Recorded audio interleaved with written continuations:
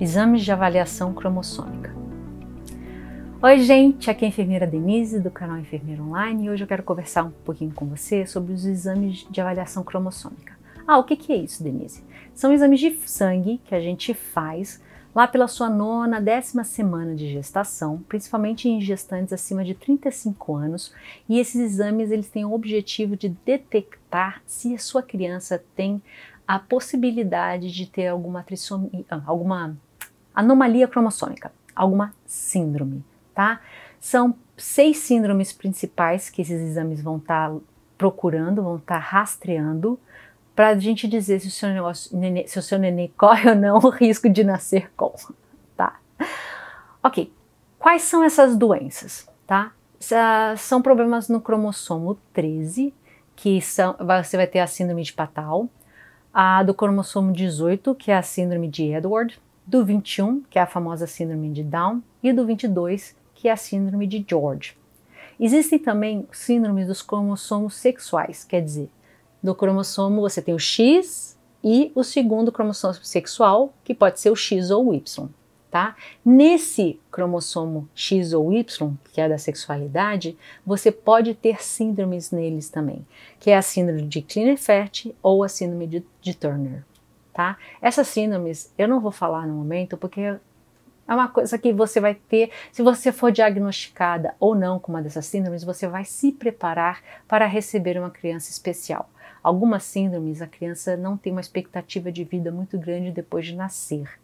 E, e, isso é um assunto hoje em dia muito debatido no Brasil, porque tem muita mãe que tem o resultado da trissomia ou da, do problema de cromossomo e procura a, legalizar, autorizar a, a, o abortamento do neném antes das 24 semanas.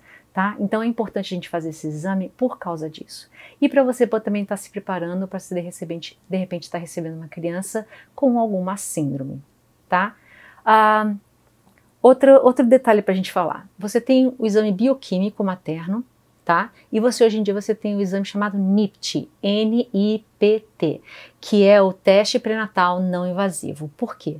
Porque ah, normalmente se faz ah, para poder estar tá detectando essas síndromes numa idade gestacional mais avançada ou uma idade materna mais avançada, se faz através da amniocentese, que eu já falei num vídeo que a gente tem por aí, ou através ah, de biópsia, tá? que é tirada do material e fazer a avaliação.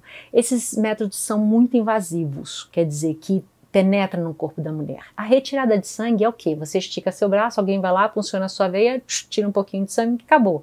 Se você for boazinha, ficar com seu bracinho quietinho, deixar a veiazinha né, bonitinha ali, não vai acontecer nada, nenhum hematoma você vai ter, tá? Eles vão tirar 5 ml só de sangue para poder fazer esses exames e pronto tá? Vai demorar algumas semanas para o resultado sair, o resultado geralmente vem para o seu médico. Se vier algum problema, você pode pedir recoleta, tá?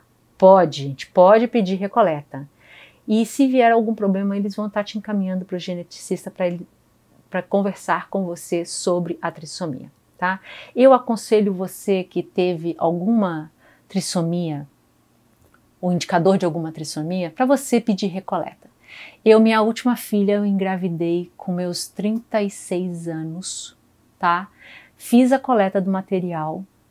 Eu já estava com 14 semanas, porque aqui foi muito difícil eu conseguir passar pela, pela rede, porque aqui não existe rede pública, tá? Então eu tive que conseguir fazer um convênio para poder entrar e fazer o meu pré-natal e eu comecei meu pré-natal muito tarde, tanto que eu não consegui fazer a translucência no cal da minha neném.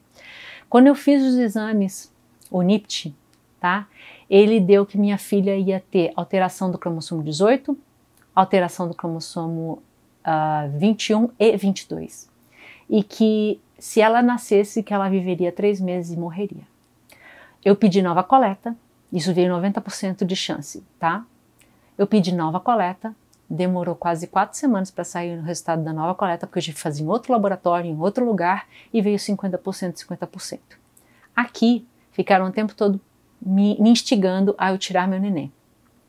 Só que quando cheguei, chegou o segundo resultado, eu já estava quase com 20 semanas de gestação e eu conversei com meu marido nós decidimos que não, que nós não íamos fazer nada, que nós íamos esperar para ver o que ia acontecer quando ela nascesse. E eu assinei o termo de fazer laqueadura tá? Porque eu já tenho mais duas filhas, então essa ia ser minha terceira filha. Mas se ela tivesse algum problema, eu ia querer engravidar de novo. Então eu deixei em suspenso a minha laqueadura. Quando ela nasceu, nasceu de parto normal.